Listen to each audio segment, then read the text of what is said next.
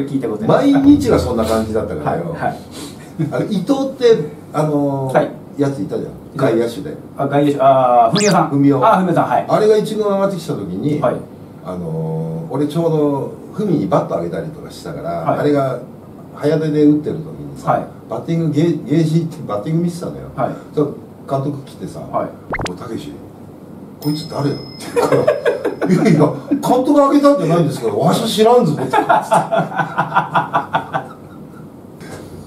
もうああの昔の人ってもうなんか面白いよな、面白そういところ。白いですね確かに。はい。まあなんかそういう中でまあまあさっきちょこっと話も出たけど、いはい。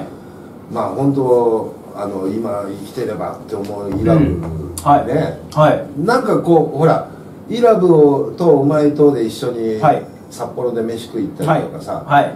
もうイラブはもうなんか俺の弟分みたいな感じでさ、はい。やってたけどさはい。すげえピッチャーだったよいやすごかったですね。な。はい、で僕もね1歳上なので、うん。当時本当に僕が入団した時に、ねまあ、あの風貌ですからちょっと怖い感じはありましたけど、うん。まあすぐこう打ち解けた感じでしたね。ラブさんもあのすごくなんかよくしてくれたんで、で数々プロ野球選手のピッチャーを見てきましたけど、まあ、僕よりすごいピッチャーたくさんいるんですけどこの人だけにはかなわないと思ったのはイラブ秀樹さんだけでしたね。すごかったです。はい。でさあいつさ、はい。あんな大雑把な感じにはい。乱れるじゃん、え。性格もよ、はい俺がドラゴンズ行ってからいきなりあの、はい。暴れ出してあの、はい。スタンドにグラブぶん投げたりとか。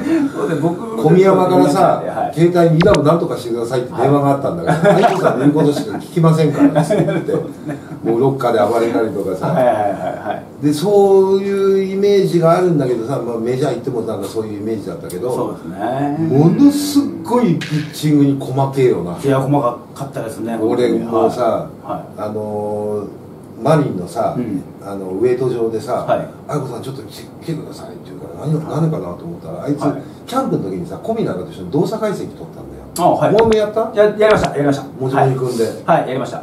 で、はい。それとクレメンスとはい。の違いとかって言って俺延々2時間ぐらい説明さされて どうしてもリリースが2センチ足りませんみたいな感じで、はい。はい。はでもう、はい。あいつ本当にミリ単位であのフォーム作ったんだよいな、そうみたい。な変わったじゃん。ねはそれまで腕を下に下ろしてたのをはい。それを変えたじゃん、いそうですね。はだから俺もうあの時にさいはい。清に投げて158キロ出したじゃん、はい。でその次のボールを清が右中間ツーベースでああそうですね。はい。で俺セカンドにベースカバー行ったらはい「愛子さん投げた瞬間に振ったけど間に合わなかった」っつって。清 が。はい。だけど逆方向に行ったってこと？いやじゃあその前のフあファァールールがですね。あはいはいはい投げた瞬間に振ったけど間に合わなかっまあそれ間に合わないですね。た、本当にもうイラブさんも当時言ってましたけど本当に自分の指からボールが離れた瞬間ミスについてる感覚だって言ってましたね、はい。で俺あの158キロの時に「はい。いやあんあの感覚ってどうだったの?」って言ったら、はい。肩が一緒に飛んでったかとああよくここからここがとん一緒に飛んでいくっていう話もしてましたね。うはいしてました。はいもう俺俺ら俺もピッチャーやってたけど、はい。そんな感覚なかったからさ。はでさいうん。あのイラブにさはい。聞いたのよ。はい。150キロのボールってどうやったら投げれるのって言はあいつ曰く、はい。左足を蹴るんです。い左足を切る。あ踏み出してこっちか。右ピッチャー合わせてね。で蹴るんだ。地面を。はいはいはい。うーん。まあ、はい。多分さ大谷なんかもこうちょっとスライドするの。そうですねはい。あの意味なんだと思うんだけど。そうですね今思えばそうかもしれイないね。ラブの感覚はあれをはいはい地面を蹴る感覚だったのはい。はいはいそしたら150キロ投げれますとかって言って俺真似したんだけどはい。全然ボールいかないいかないって いうか難しすぎてはい そうですね。どうやったら蹴れんだろうと思はいはいはいってはい。あの頃さはい。だからはい。あの面白いさ性格のピッチャーってまあイラブもはい。そうだったけどはいでイラブに関してはそうそう。はい。あいつさうん。それこそアメリカで亡くなっちゃったけどはい。さあの年のあいつ8月に亡くなってるの確か。あそうでしょで実は俺あの自分の本を出す出した後なんか宝島社にあはい。イラブの本を書かせてくれと、おはい。かイラブ書かしてくれとかイラブの本を作りましょう。はい。けしかけたのね、はい。ででとにかくイラブのところへ行って取材を俺があいつは俺だったらはい。何でも喋るから、はい。